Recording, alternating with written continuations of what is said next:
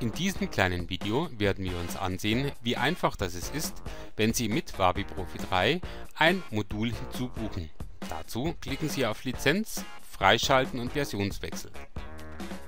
In diesem neuen Fenster haben Sie die Möglichkeit, zusätzliche Module zu Ihrem bestehenden System hinzuzubuchen oder wegzunehmen.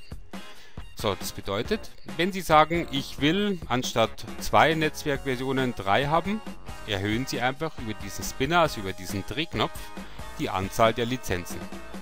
Wenn Sie sagen, Sie wollen die Dokumentenverwaltung haben, dann klicken Sie einfach drauf. Auch könnten Sie sagen, ich will Pressedatenverwaltung mit haben, ich will Kundenfahrzeuge mit, ha mit haben und so weiter und so fort. Wenn Sie mit Ihrer Auswahl fertig sind und Sie sagen, so passt es, klicken Sie auf Übernehmen. Sicherheitshalber weist die Wabi Profi 3 darauf hin, dass eine Abweichung von einem bestehenden System durchaus kostenpflichtig sein kann. Es bedeutet im Klartext, wenn Sie, wie in unserem Beispiel hier, die Dokumentenverwaltung, die Sie vorher nicht hatten, hinzugebucht haben und dann auf Übernehmen geklickt haben, ist dieser Versionswechsel, das heißt die Aktivierung der neuen Funktion natürlich kostenpflichtig. Wenn Sie sagen, ja, passt schon, dann klicken Sie einfach auf Ja, Sie wollen diesen Versionen oder diese neue Version übernehmen. Anmerken möchte ich an dieser Stelle noch, dass ein Versionswechsel natürlich nur dann kostenpflichtig ist, wenn Sie Punkt 1 Versionsveränderungen vorgenommen haben, das heißt etwas hinzugebucht haben.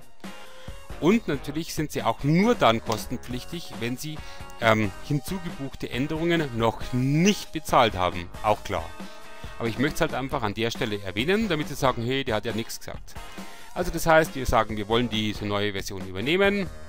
Wabi Profi 3 sagt, hey, Programm starten, dann machen wir das einfach. Wir beenden das Programm und starten das Programm als Administrator neu.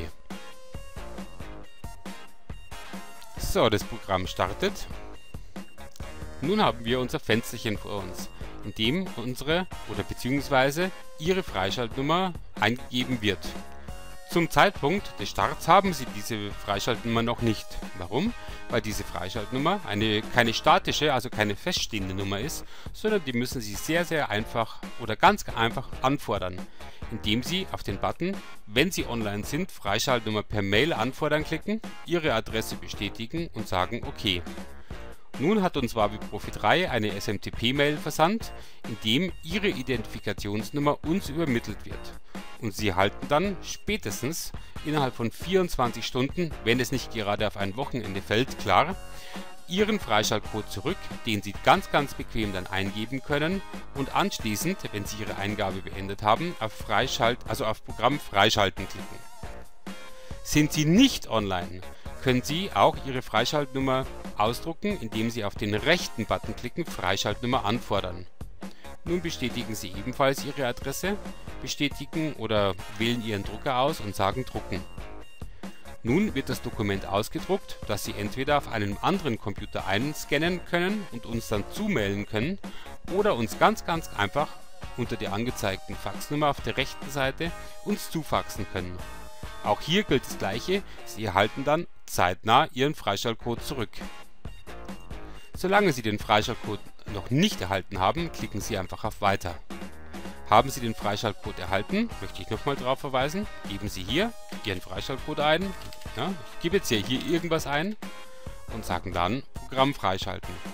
In unserem Beispiel ist es halt einfach so, dadurch, dass ich jetzt irgendwas eingegeben habe, sagt das Programm natürlich, hier ist natürlich falsch, klar. Das heißt, Sie geben den Freischaltcode ein und bitte nicht Ihre Identifikationsnummer, wie es in der Praxis schon manchmal passiert ist, dass es Leute gemacht haben. So, dann verabschiede ich mich bis zum nächsten Video. Tschüss.